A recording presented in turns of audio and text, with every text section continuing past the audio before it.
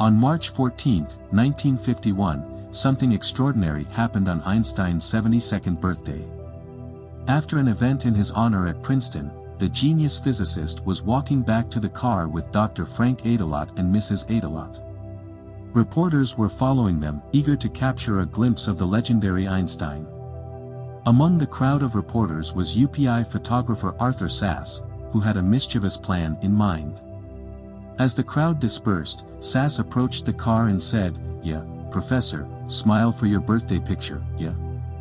But Einstein, thinking the photographer wouldn't be fast enough, decided to play a prank.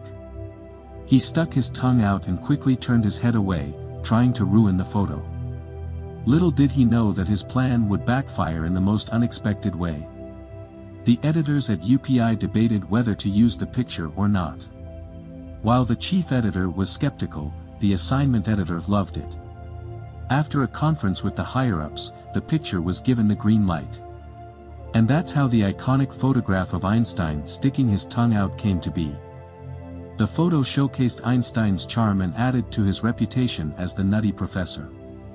It became one of the most popular images of Einstein, often used in light-hearted merchandise. But here's an interesting fact, the original image included the faces of Dr. and Mrs. Aydelotte in the car.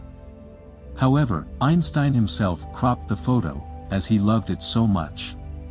He even sent greeting cards to his friends decorated with the image. In fact, he requested nine copies of the photo from UPI for personal use. One of those copies was signed by Einstein himself and given to a reporter. And guess what? On June 19, 2009, that very signed photograph was sold at auction for a whopping $74,324.